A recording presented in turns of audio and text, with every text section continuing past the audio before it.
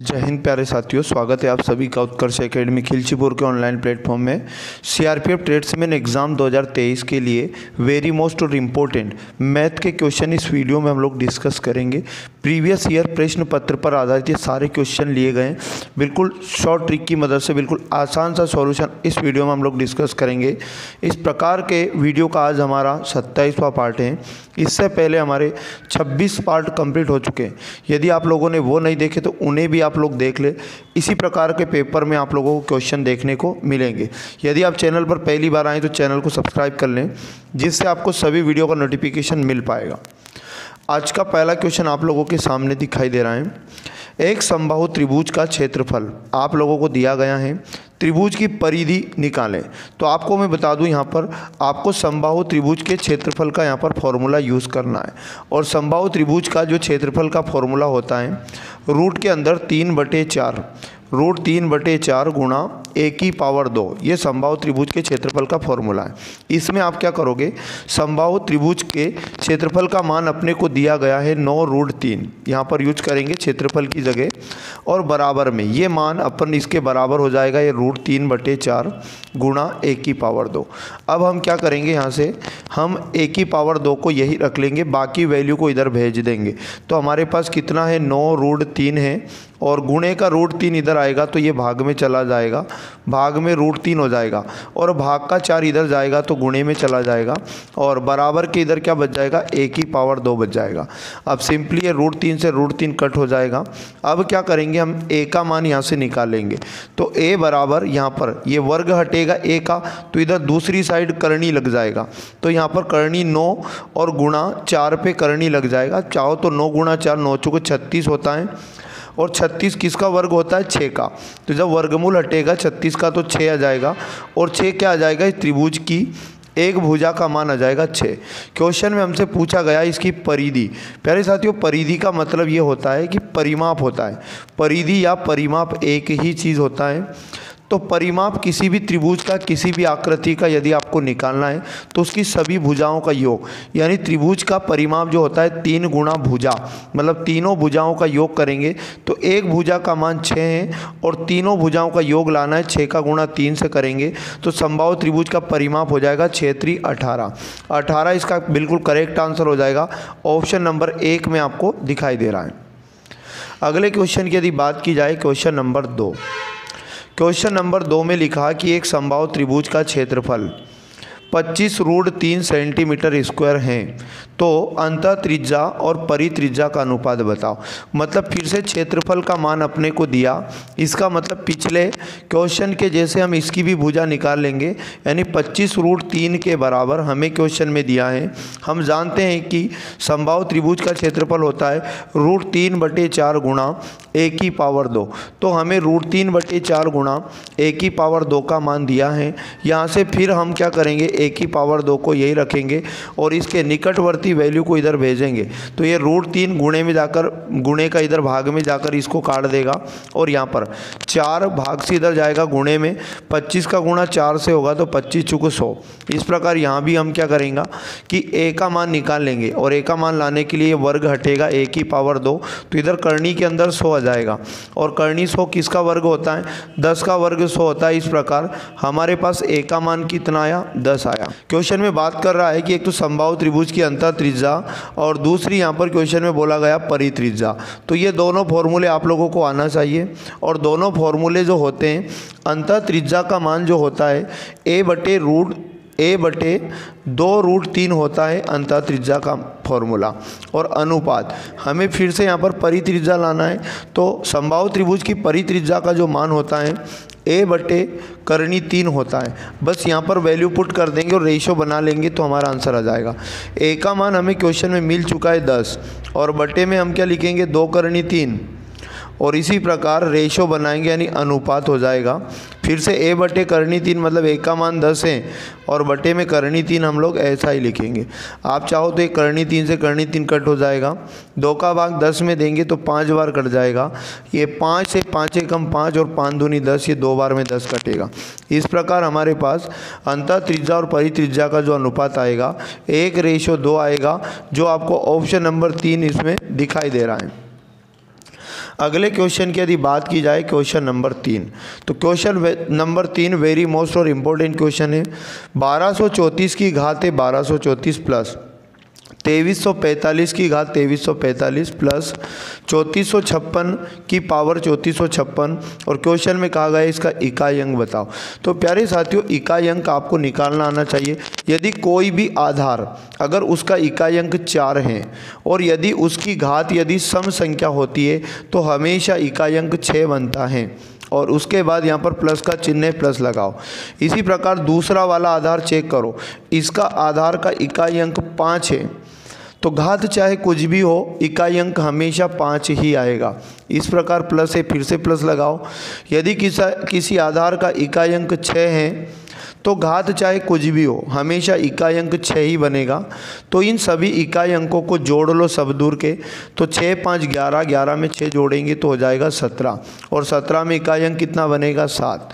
तो इस क्वेश्चन का जो इकाई अंक आएगा, सेवन। ऑप्शन नंबर तीन बिल्कुल करेक्ट आंसर हो जाएगा।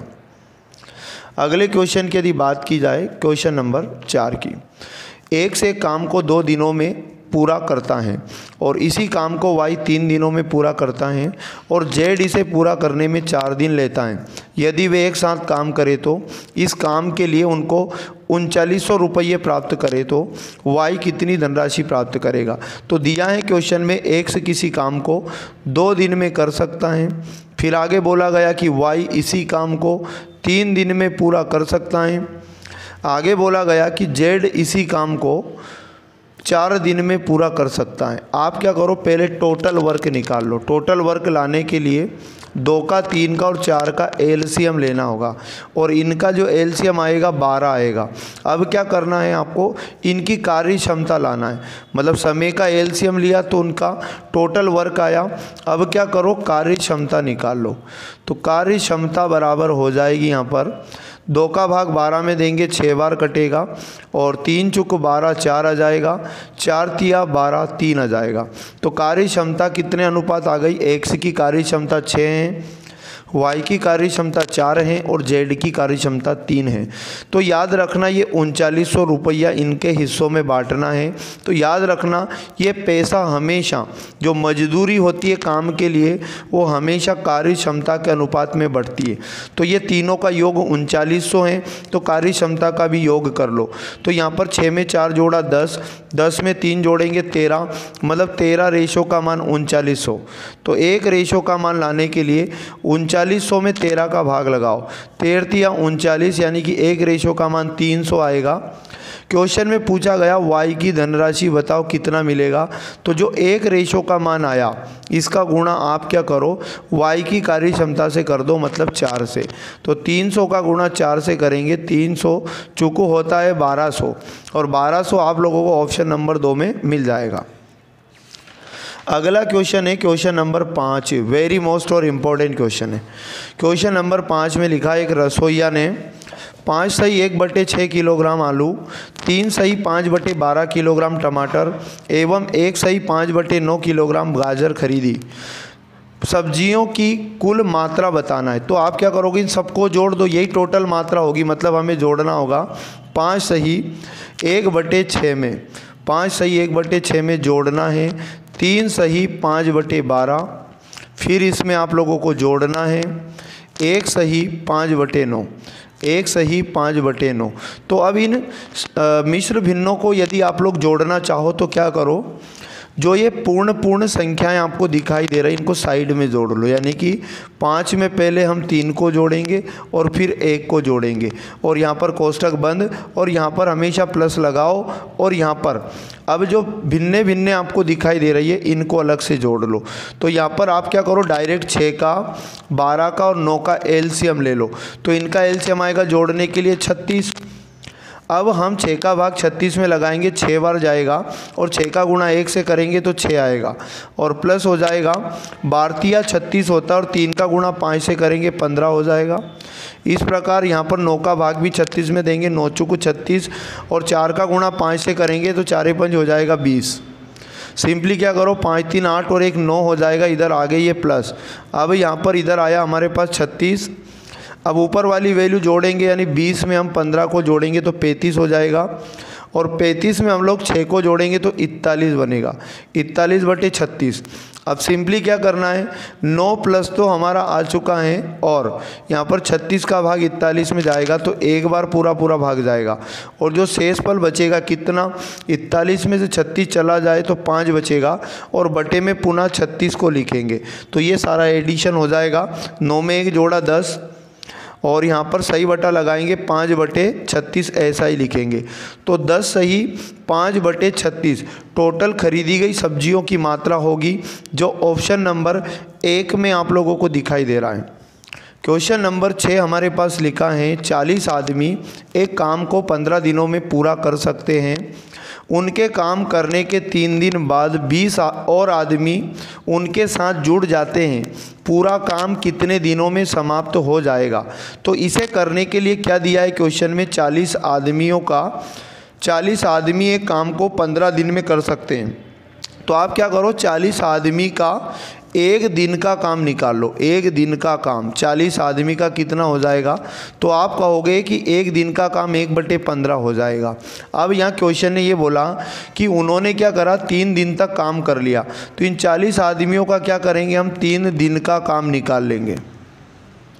तो तीन दिन का काम यहाँ पर कितना हो जाएगा? जो एक दिन का काम है, एक बटे पंद्रह, अगर हम इसमें गुणा करें तो इन चालीस आदमियों का तीन दिन का काम आ जाएगा तीन का गुणा करने पर।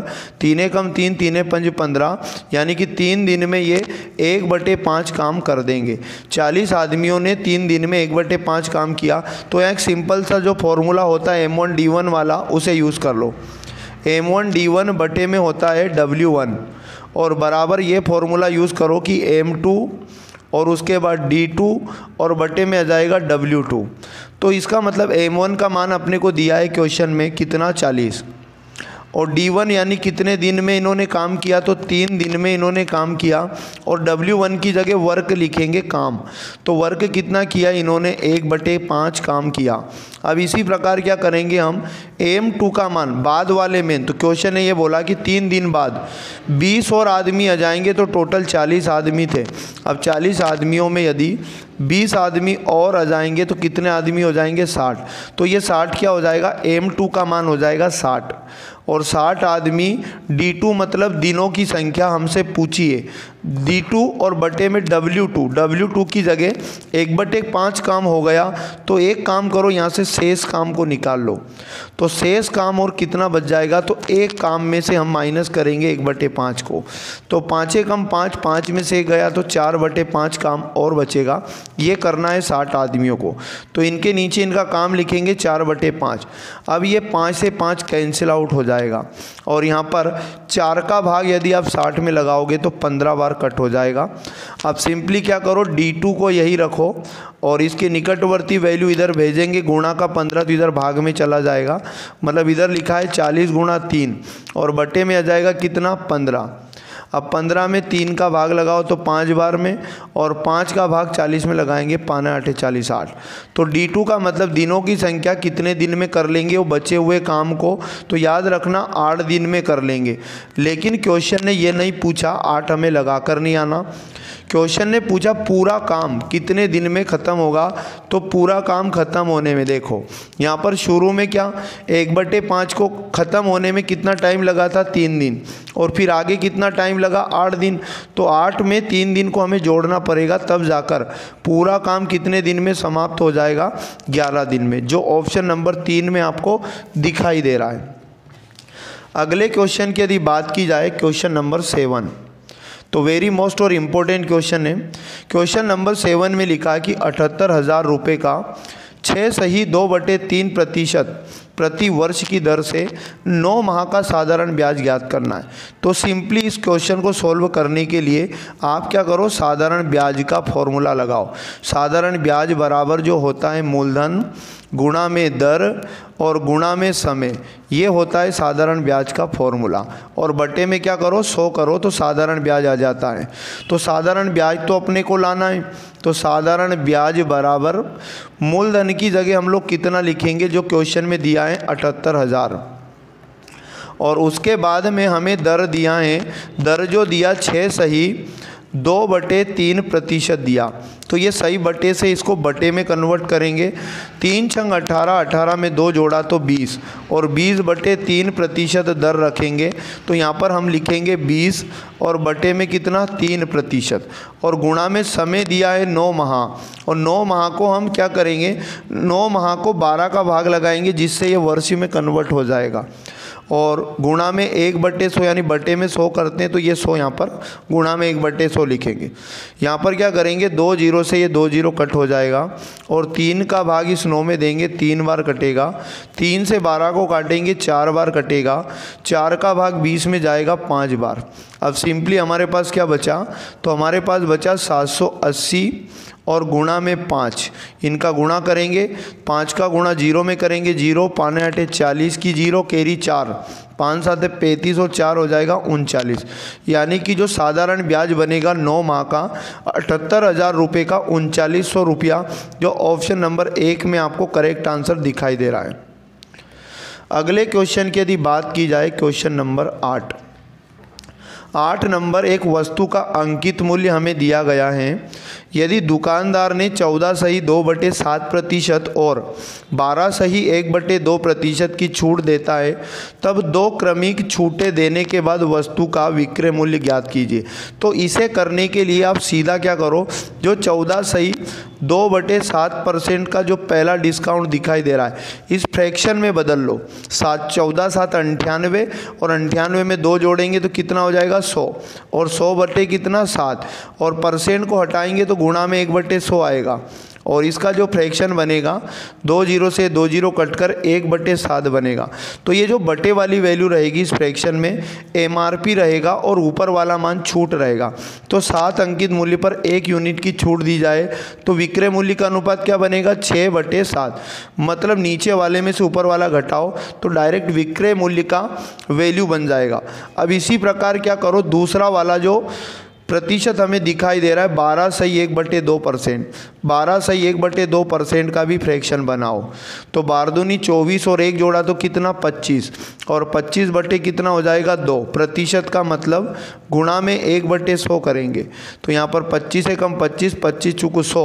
और यहाँ पर ऊपर में एक बच्चा और नीचे चार दूनी आठ हो जाएगा। आठ एम पर एक एक यूनिट का डिस्काउंट रहेगा तो कितने में बेचा जाएगा? सात बटे आठ में।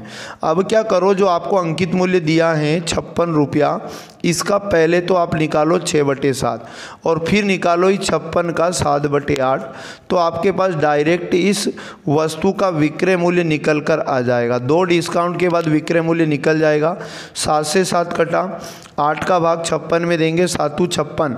और यहाँ पर सात गुणा छः करेंगे, सात चंग बयालीस। तो बयालीस इसका सही जवाब है जो ऑप्शन नंबर एक में आपको दिखाई दे रहा है। अगला क्वेश्चन है, question number nine.